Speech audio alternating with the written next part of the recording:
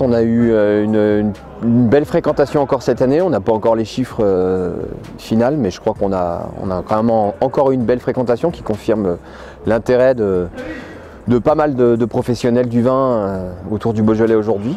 Donc c'est plutôt une bonne chose. J'ai l'impression aussi d'avoir eu pas mal de, gens ravis, ravis de l'accueil, de, de, ce qui fait un petit peu l'essence du Beaujolais, parce que finalement, L'ADN du Beaujolais, c'est la convivialité, la convivialité et, le, partage. Donc, euh, donc, du coup, pour l'instant, ça, semble être un joli bilan.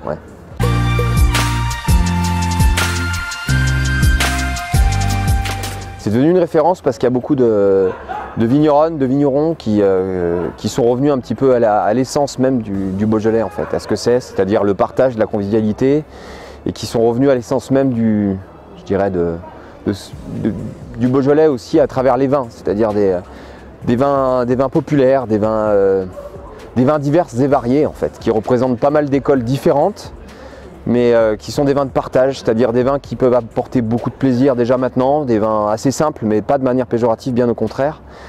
Des vins de partage et puis des vins qui peuvent très bien se garder, aussi des grands vins de repas, donc euh, des vins polyvalents. Donc on voit qu'on a aujourd'hui une clientèle qui vient du monde entier. Donc, donc aujourd'hui, je pense que c'est simplement un retour à, ce que, le Beaujolais sait faire de mieux. Euh, partager, euh, accueillir, et, euh, et, les vins, ils racontent ça. ils racontent ça autour d'un cépage assez formidable qui est le Gamay. C'est un cépage, un cépage généreux, et en fait, c'est un cépage qui, comment dire, qui pardonne rien.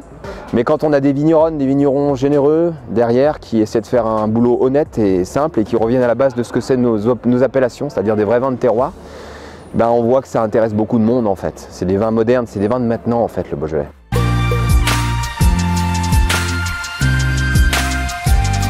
Clairement, je pense que ça dépasse même euh, le vin, euh, ou même le Beaujolais et le vin en général. Je pense que beaucoup de gens aujourd'hui reviennent vers ça en fait, s'intéressent à ce sujet qui est quand même un sujet euh, qui est capital.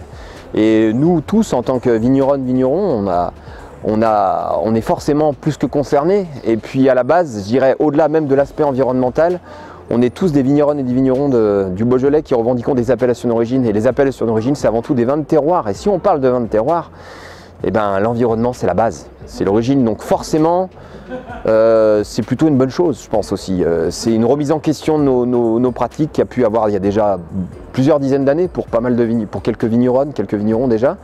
Euh, et, c'est quelque chose qui est important. ça intéresse les consommateurs et je crois que c'est plutôt bien, c'est plutôt une bonne chose.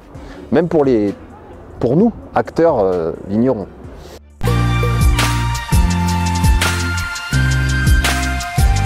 Bah, l'avenir, en fait, il est basé justement sur, euh, sur un des sujets qu'on a déjà abordé, c'est-à-dire que dans Bien boire en Beaujolais, il y a un premier aspect, c'est l'échange entre les vignerons. C'est le fait de réussir à nous fédérer tous. Aujourd'hui, il y a un renouveau, il y a quelque chose qui est en train de se passer dans ce vignoble.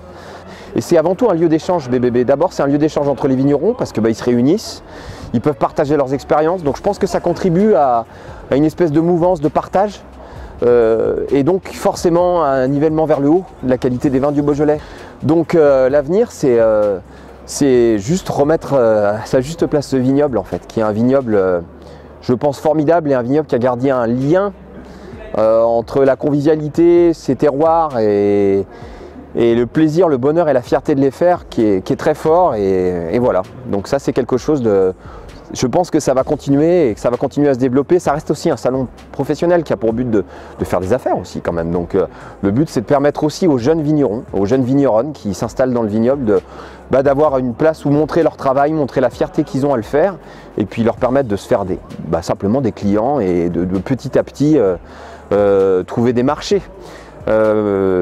Ma famille, on a toujours dit une main enlève une autre. Euh, donc je, je résumerai ça par un Beaujolais pour tous, tous pour le Beaujolais. Donc voilà.